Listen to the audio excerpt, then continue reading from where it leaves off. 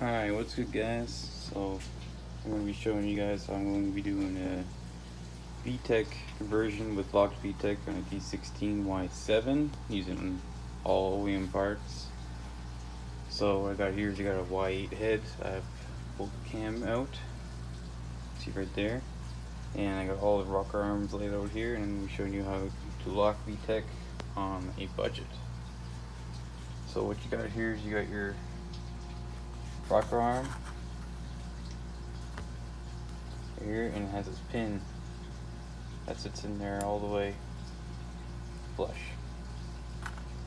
And the oil pressure pushes in this hole down in there.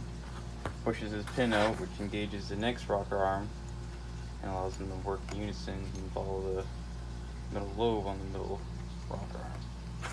So what you do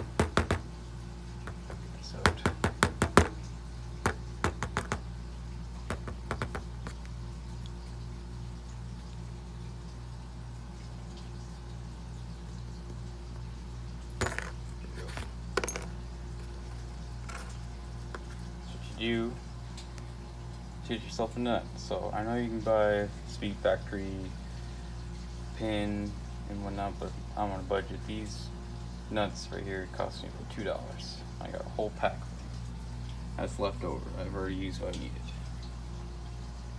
So what you do is you take this nut, drop it down in the hole. There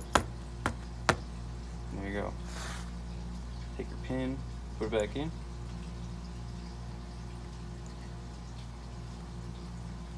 There, now it's down there all the way.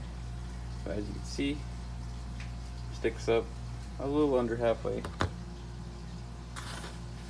And now when you go to set the next rocker arm on, sorry,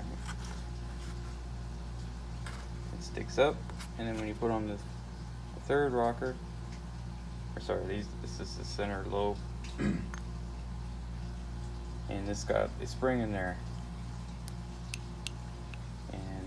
What it does is when you set that on, compresses the spring and holds everything tight. It's actually the return spring from the way it works from factory.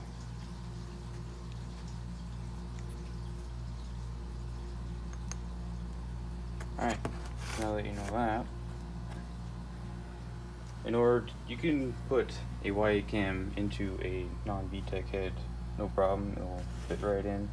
The only thing you have to do is you do have to use your cam caps out of your Y7. Do not use Y8 or any other cam cap that did not come with your head because they're all line honed and need to match perfectly so there's no wear.